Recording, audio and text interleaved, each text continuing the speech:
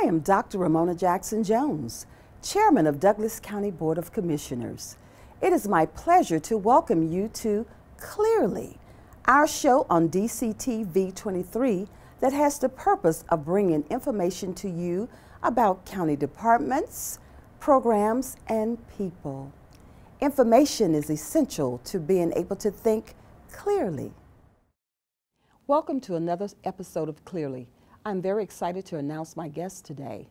She is my friend, Mayor Rochelle Robinson of the City of Douglasville, and you're going to get a chance to learn more about her, what she has planned for the City of Douglasville, and learn why the growing wonderful relationship she has with Douglas County is working.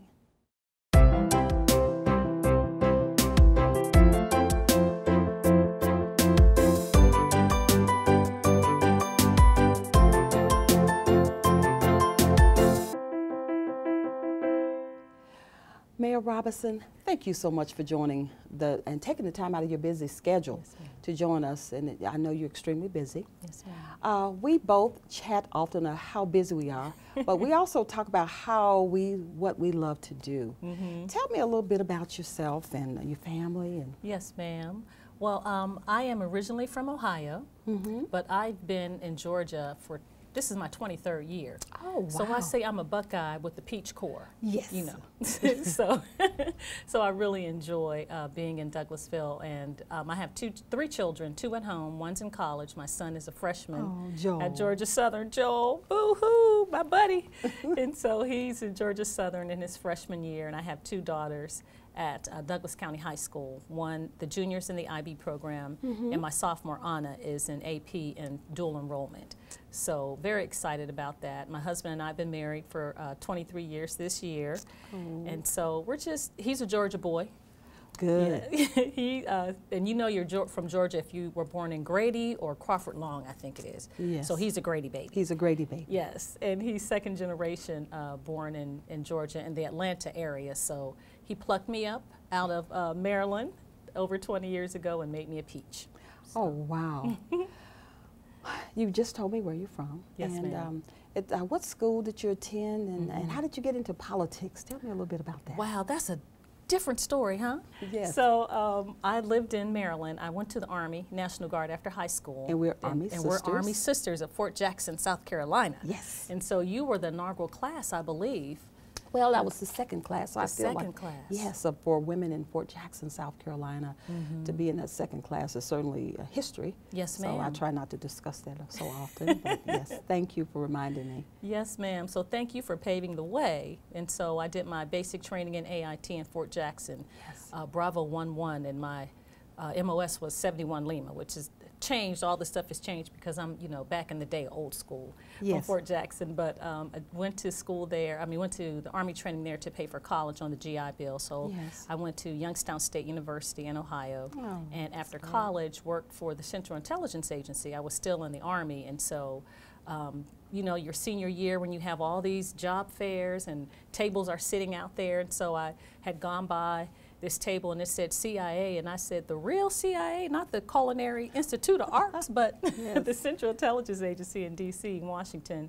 And so I filled out an application because that was part of what I'd done in the um, military, the, the National Guard, and was recruited and worked in D.C. for about eight years, lived there and traveled and lived in different parts of the world and you know, so that was very interesting, and I can't really talk about a whole lot of yeah, what I've done. but the CIA, I understand it's a secret code, yeah. so we I won't belabor that anymore. Yes, uh, tell me a little bit about your political experience. I know you oh. were a city councilwoman yes, prior to becoming mayor, mm -hmm. uh, so you you came fully loaded when you entered office. You certainly were not a neophyte. Mm -hmm. Yes, Can you tell me a little bit about your political experience and just some of the great things that you mm -hmm. have experienced while serving wow. Douglasville? Well, thank you. Thank you for the opportunity to share that.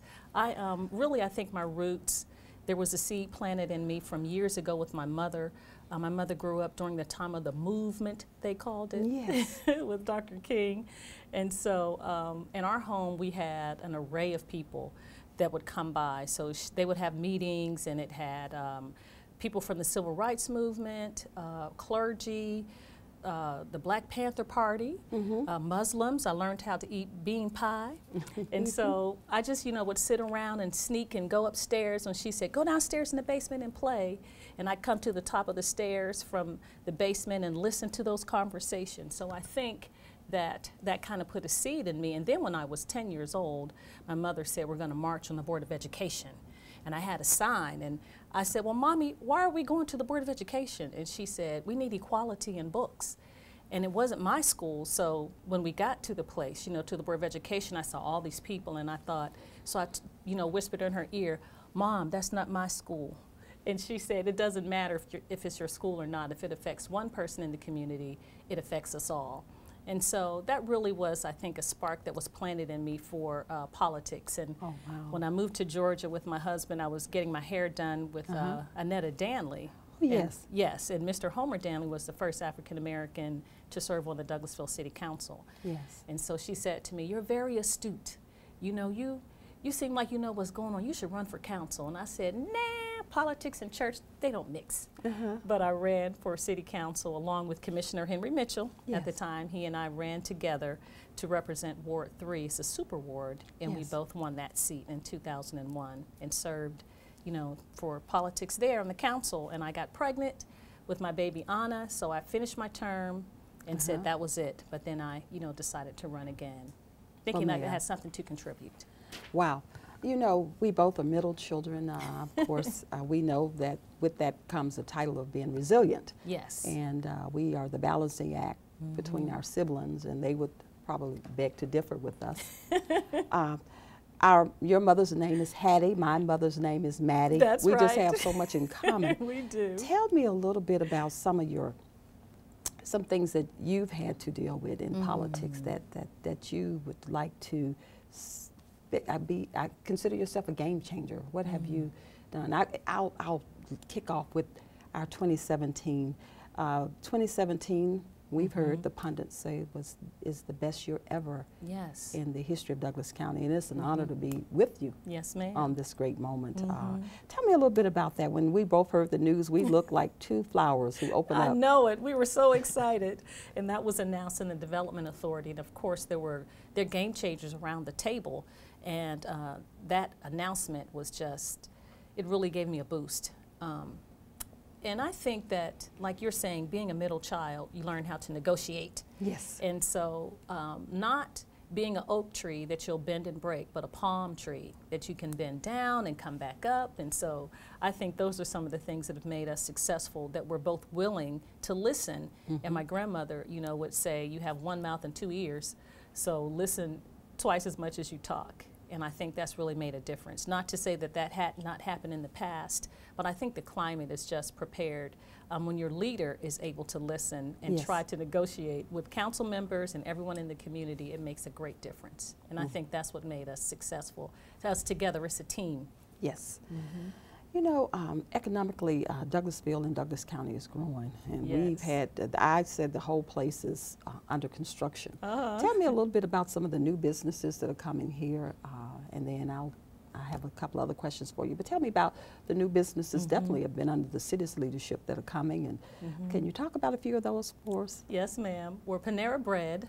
One of those ones that you and I said we're going to, every time we go by, there's a large line, a long line, but I've finally been able to go into Panera Bread, and it's delicious. Yes. And so we have chains that have been coming into the city um, on Highway 5 and in that old Kroger, not Kroger, I apologize, Kmart shopping plaza. Mm-hmm. We have Burlington Coat Factory and bills, and there's another one coming there, but it's a it's a three part. You probably remember because Home you're not, Goods. Home Goods. There Yes. you go, Madam Chair. Yes, Home Goods Goods. is there. So we have those chains, and then we have private entities as well. Blue Rose uh, Art Bistro is in the downtown area, and it's a quaint, um, a little bistro. They have food, light food that they serve, but their art is phenomenal. And so those are some of the things that have been coming into the city. And of course, we have a downtown master plan that we're uh, hoping to implement soon. Um, we're just trying to get all the pieces in place, and so that will change the trajectory of downtown. And you know, the, the city's in the county. So what's good for the city is good for the county. Yeah. I remember visiting visiting the annual chili cook-off Oh. and um, had an opportunity. You opened it up and I closed. Uh-huh. Uh, tell me what the county citizens may feel uh, find interesting in the chili cook-off. I like the chili. I'm Yes. a chili hound and a buff. Tell me what you think it, how that has benefited uh, uh, Douglasville and Douglas County at large. Yes, ma'am. It's um, it's sponsored by the Cultural Arts Council, which is, a, of course, is a partner with the city and the county, Mm-hmm. and we support them both financially um, as entities, government entities, and private entity. But downtown, first of all, the, the plaza is renovated, so it's a new plaza. We the iconic fountain is gone, but we have a new fountain, and it lights up with different colors. Oh and- yes. and so, what people will find when they go there is a more open space that's more friendly and walkable um, that it, than it has been in the past. But the chili is phenomenal. The entertainment is really good. So, uh, when you come, it's around uh, Halloween time. So, we have a Halloween contest, we have dancers, uh, people sing. It's just a great family time, and getting that chili is on a cold fall night is the best. It's just coming out for harvest and, and celebrating family, which is really good. Wow, it is. I, I Mm-hmm. love chili. I, I think I probably had more bowls than we sold, but it was excellent. Um, also, it was a pleasure riding with you uh, during the uh, Veterans Parade here, Yes, which is. Mm-hmm. hosted by the county, and I thought that was an honor for both of us to, who have served, and we understand the significance of serving. And I really appreciate you uh, actually doing that with me. Thank but you. also, just wanted to touch bases a little bit about. Uh, economic development. You know, you and I are just, we just want them. We said, you know what, right. come on in. If, you know, when they start saying we, we want to move to Douglas County and Douglasville, we immediately stop and drop and say, That's we right. definitely want to, what do we need to do to bring businesses here? That's Talk right. about, I believe you have Silverline that's going on, that's coming up off that Bright Star. Can you tell Mm-hmm. Us a little bit about that? That's, that's, it's, I'm just, every time I ride by, I say, wow, look at Douglasville grow. Yes, ma'am. It's exciting. Silverline, of, of course, is Andersen Windows, mm-hmm. and they're located out in the tributary area, area, but they've expanded their operations and they're bringing that to the Bright Star connector. And so it's going, they say eventually it'll be 500 jobs.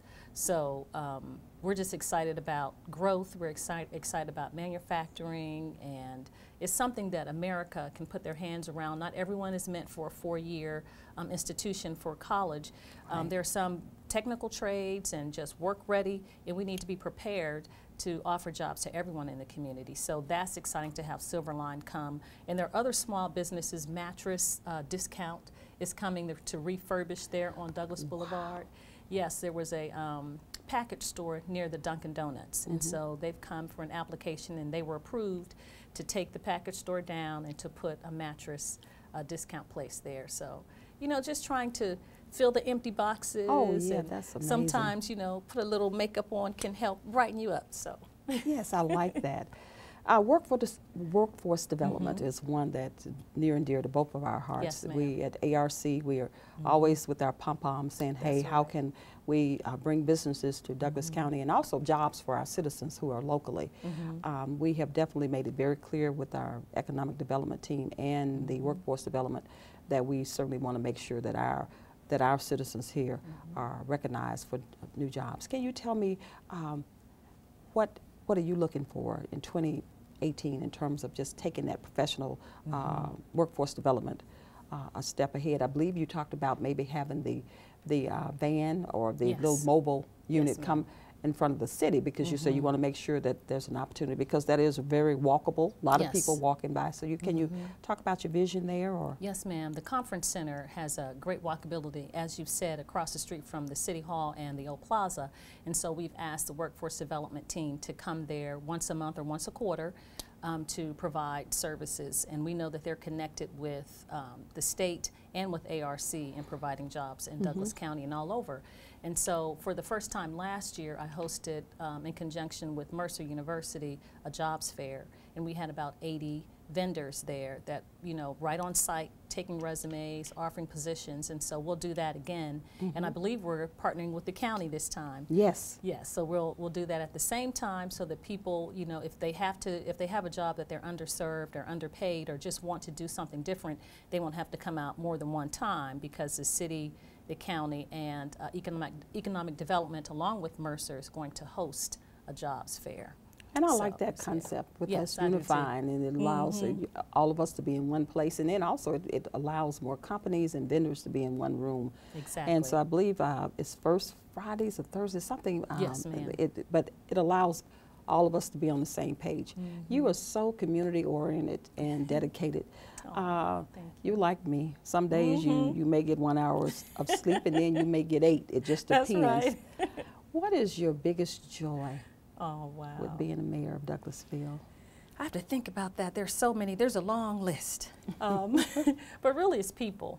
Yes. You know, um, you don't do it for certainly um, resources because you can't do any job that you're paid for if you're doing the job to get paid. I mean, and, Correct. and, and what, what I say and I mean by that is you'll never make enough money if you don't like what you're doing. That's right. And so um, that isn't my motivation. My vo- motivation really is people and making a difference and having this community turn for generations. And so my biggest joy is when I'm somewhere like at Publix or something and someone will say, You're doing a good job, young lady, keep it up. Or at Rotary Club, some of my members will say, You're not in the paper today for stay out of the paper. Yes. So uh, my biggest joy really is seeing the impact little by little and just getting encouragement along the way. Not that I live for that, but it's good um, when someone notices, even for example, on Highway 92 um, on the north side of the tracks, the, we have West Strickland Street is part of the historic district, and we always had Christmas decorations there Yeah. on Strickland and Main Street, Church Street, um, Campbellton Street, because those are the historic downtown, Fairburn Road, Fairburn Road. But this time we went across 92 and took the decorations all the way down to Jesse Davis Park. And people were so excited. You know, they said, Mayor, this is the first time I've been here for years and years, and I felt that I was part of the city because you had dec Christmas decorations on my on Highway 92. Now that's very small, but it just shows that people are paying attention. And when you people don't care how much you know until you know they know how much you care. So I wanted them to feel Campbellton Street is uh, Highway 92 that turns into Chapel Hill. It's the same street. It just depends on you know which area you're driving. So while we had decorations on Campbellton, you know I thought it was appropriate to have decorations on Highway 92 as well. So those are my biggest joys, impacting people. Wow. You know, well, we both have certainly carried the torch uh, with the youth community and then also our seniors. Oh, Uh, wow. We both were principals for a day at the high schools. You Uh-huh. Mm-hmm. have a high schooler. I have a teacher in the high yes, school. in the high school. And um, we really promote that aspect Mm-hmm. of life. And seniors, I throw a birthday party once a month, and then you know Oh, we go wow. Mm-hmm. to the senior picnic. Um, I believe it's in May every Yes, year. Mm-hmm. and celebrate our seniors. We both had an opportunity to honor both our oldest uh-huh. um, male and female senior this year. Mm-hmm. Um, tell me, and you know, I know. Uh, I told someone I said I'm, I'm, I'm checking the boxes, and of course, you know, my days are I'm already a senior, but perhaps I don't feel like one. And don't look But- like one either. But with that being said, tell me what your plan and your vision for Mm-hmm. enhancing the lives of two two uh, Mm. populations, that youth population, which you're Mm-hmm. just so well involved in, all the school PTA mom. I'm just pleased, and then you. from the senior component. Yes, ma'am.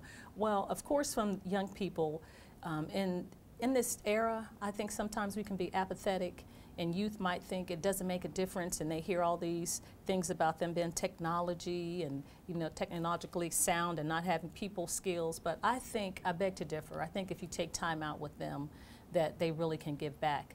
And as you said, we were both principal for the day. I went to 22 schools Wow. last year, el- elementary, middle, and high. You know, speaking for Black History Month, for graduations, and just Yes. any time I'm asked if I can fit, fit it in the schedule, I try to attend. And it doesn't matter if it's in the city or the county, or it's Chapel Hill, the Church of Chapel Hill, private school. It doesn't. I just go and try to encourage kids to let them see that really, first of all, women.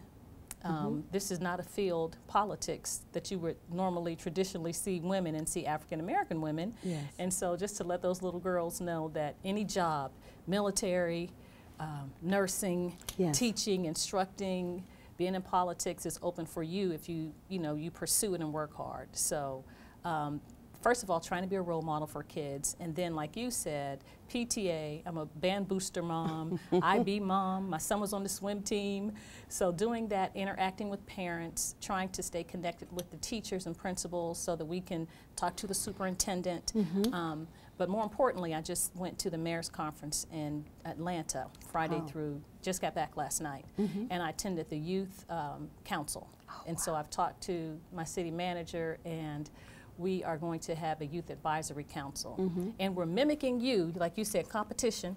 we are mimicking the county to have an internship program. So that was rolled wow, out last week. Wow, that's so exciting. Yes. I, we had a ball last year with our interns, and we're mm -hmm. planning on rolling it out again this year. Very because good. it's, it's a, I just enjoy enhancing the lives of our of our future, the yes, youth. I said, you all are going to take this wheel That's right. one day, so we're getting them Get prepared, them and want to make sure they're prepared for to, to take the lead on so many initiatives. Mm -hmm. So therefore, seniors. And seniors and oh, seniors. I oh, I love, love seniors. They have so much wisdom, and mm -hmm. they mm-hmm. make you Selah. They make you slow down and just relax and take one day at a time, yes. which is good sometimes because you're, you know, you don't stop and smell the roses or be present in the moment, but they will make you present in the moment. Oh, and yes. that wisdom that they have is just, it's more than just having silver hair, it's having something to say that's imperative.